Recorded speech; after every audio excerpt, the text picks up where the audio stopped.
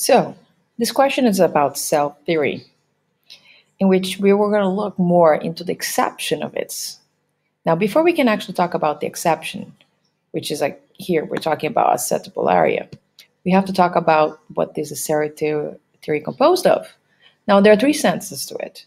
The first one is that all living organisms are composed of one or more cells. Second one is that the cell is the basic unit of structure and organization organisms. And the last one is the cells, they arise from pre-existing cells. Now, looking more closely, we're going to look at the first sentence because this sentence right here is actually the reason why a Acetabularia is an exception to this cell theory. Now, let's let's look at one scenario here. For instance, if we have a cell right here, that cell has to do all types of functions you can think of. You know, making proteins, breaking down things. Plus, not only that, if there is a waste right in the middle of the cell, it takes quickly for it to get out, right?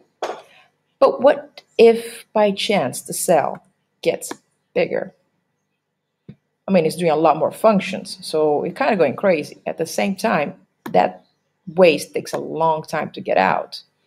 And what if the cell continues to get even bigger?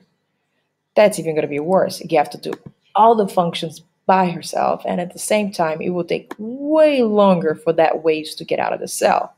So that cell is going to be struggling, doing a lot of work, and at the same time, if waste stay too long from getting that cell, eventually that cell is going to get messed up. So, what is the best solution for this cell? Usually, the best solution for this cell is to divide. If divided themselves, that cell goes back to being two. And then now you have two cells working on functions. And at the same time, the time to take that waste, it's way faster. So it's better having two instead of one large one. So this is the reason that why they're saying that most living organisms, I mean, sorry, all organisms they're made of one or more cells. If they're one, they usually will be a tiny one, right? Does its functions and done. If it's a large organism like us, we're going to have millions of cells. Why? Because there's so many functions to do and we want to get the race fast quick. I mean, if we actually were made of just one cell, we, we will look like this guy. And this guy, it's a huge one cell. He looks smiley, but the truth is, if you had the waste right here in the middle, it will take so long for that waste to get out, and that face will not be happy. It will be completely purple. And doing all the functions that we have the heart, the lungs, the intestine if one cell doing all that job, he probably would go cuckoo. He would just probably suicide. So, with that in hand, this is reason why we save more cells in order to do a lot of functions.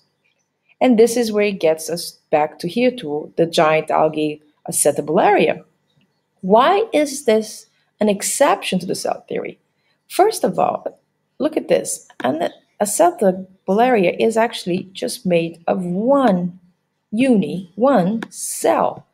And here's the interesting part about it is that it can be it can become very big, extremely large, up to seven centimeters in length. So it's a huge, huge unicellular. It's a huge cell. And the funny thing about it is that this actually algae can work perfectly well.